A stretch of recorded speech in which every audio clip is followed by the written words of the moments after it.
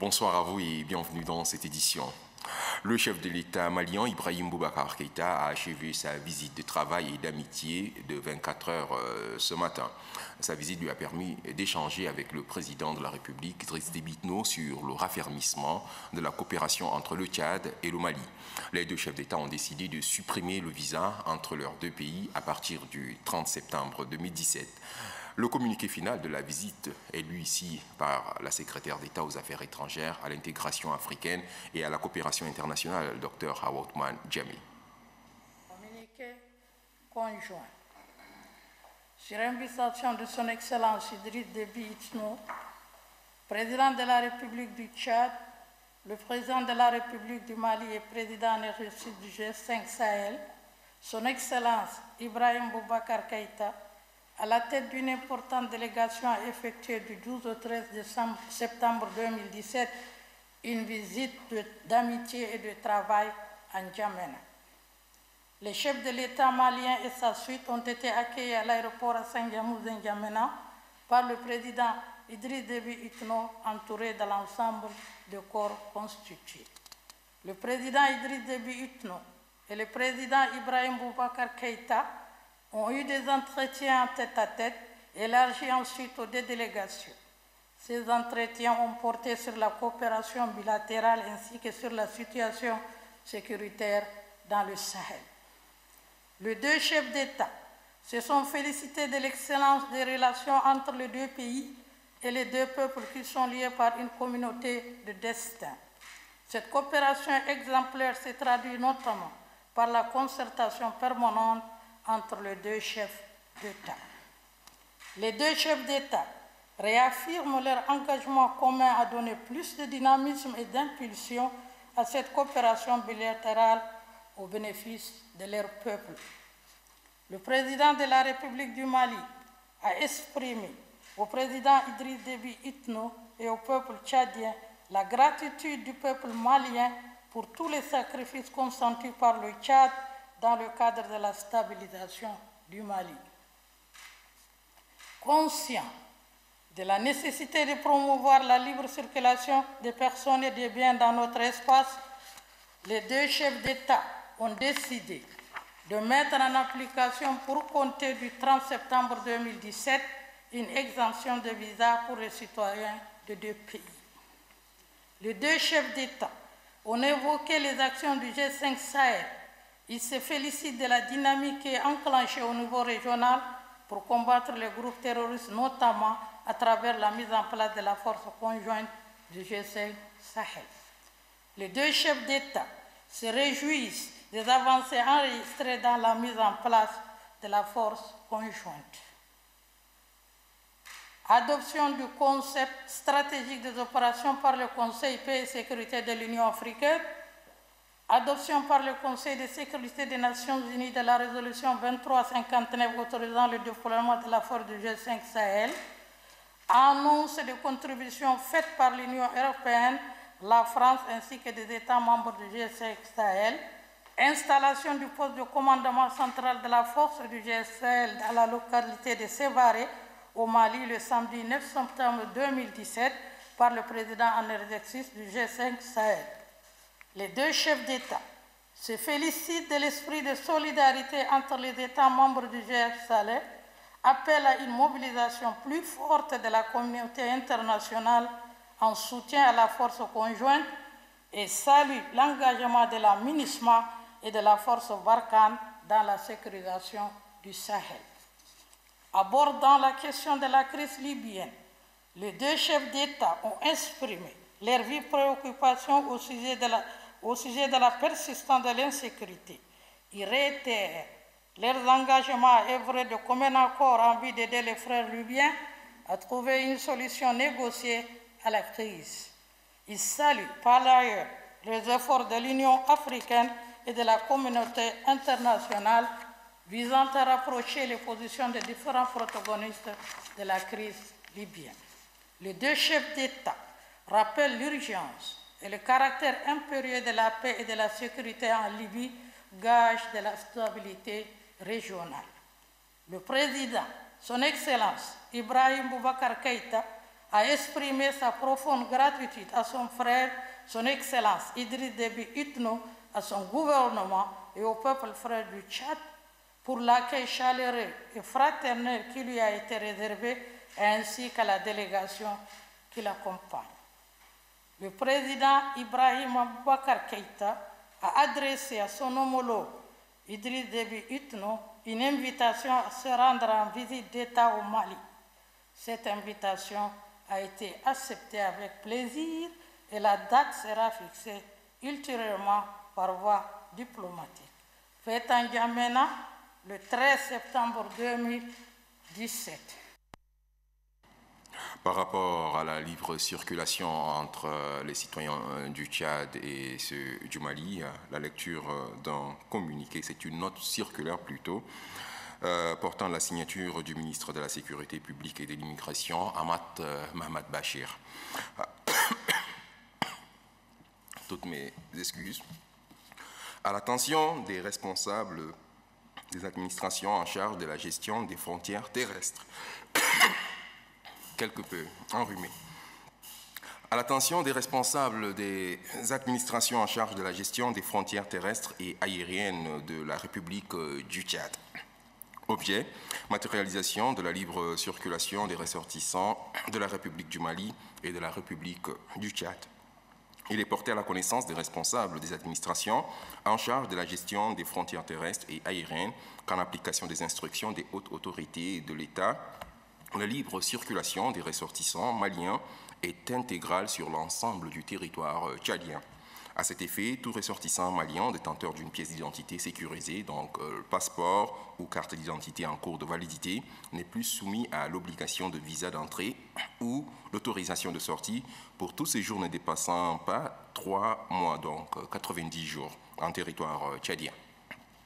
La présente note circulaire, qui prend effet à compter de la date de sa signature, fera l'objet d'une large diffusion auprès de toutes les administrations en charge des frontières de la République du Tchad et publié partout au besoin sera N'Djamena le 13 septembre 2017, signé le ministre de la Sécurité publique et de l'immigration, Ahmad Mahmad Bachir.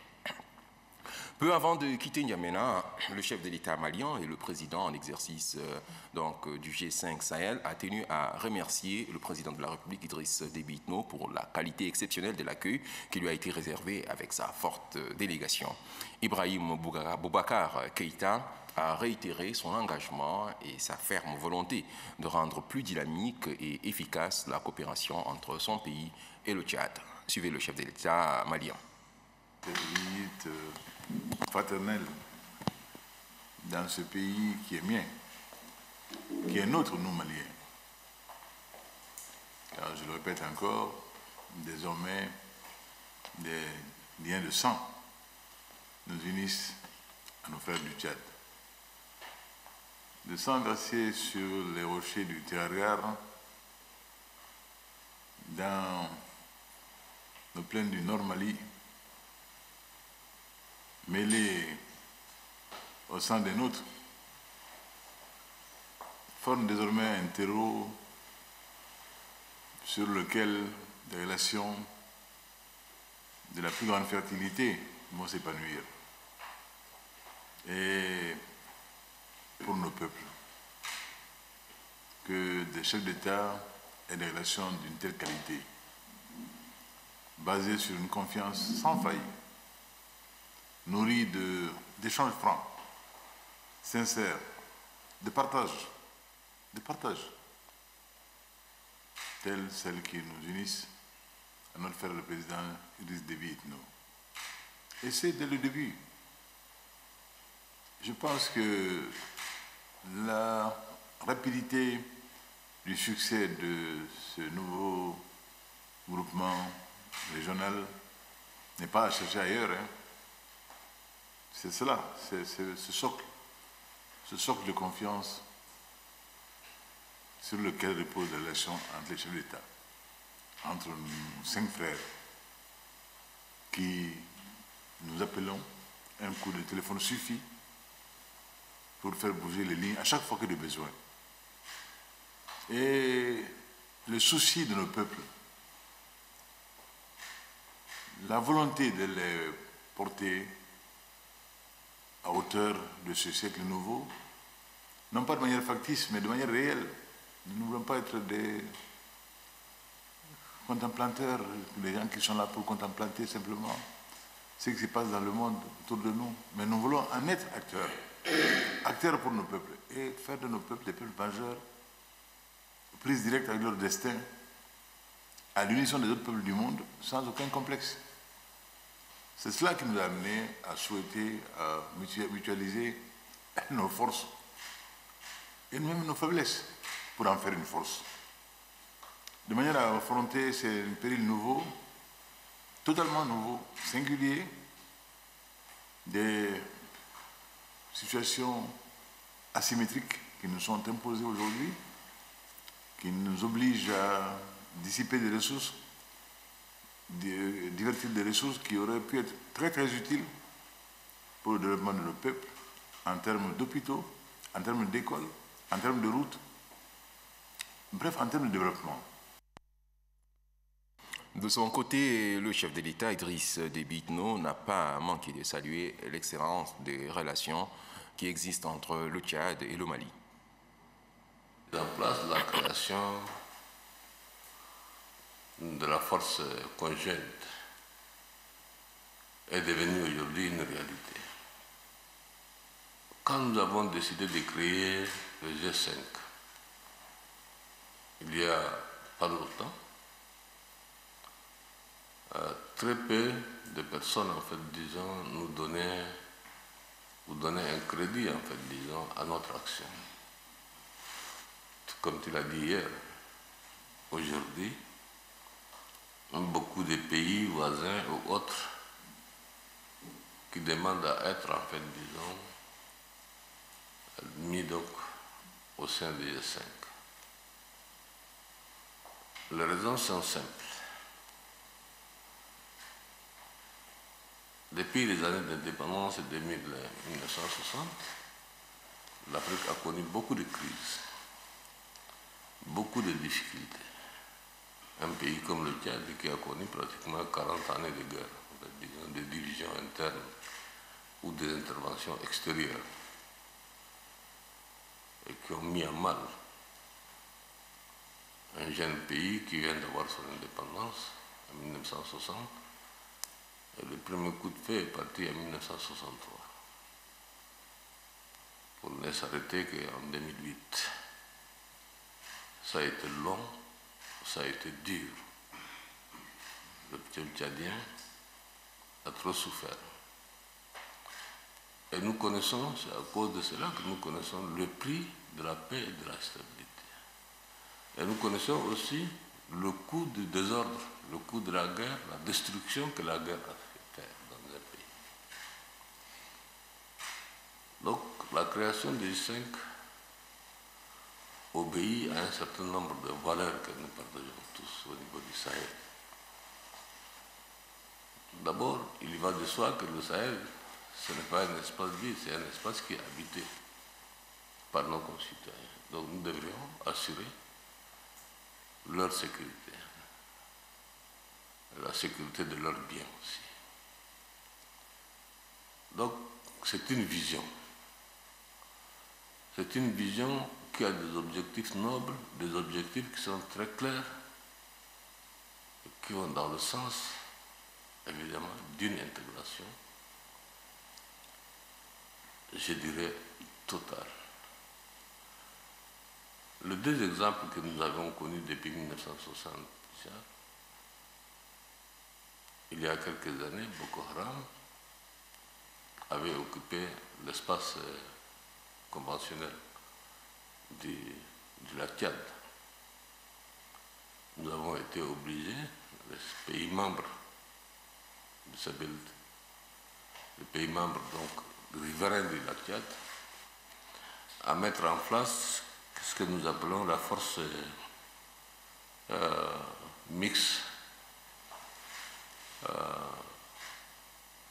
qui est aujourd'hui à pied d'œuvre avec un commandement unique et qui lutte chaque jour davantage contre le terrorisme de Boko Haram. Nous devrions comprendre, nous, Africains, que le destin de nos pays, le destin du continent, c'est d'abord entre nos mains nous-mêmes. D'abord. Et que nous devrions montrer nous-mêmes à la hauteur des responsabilités que nous assumons, bien sûr, avant de demander que les partenaires, en fait, interviennent.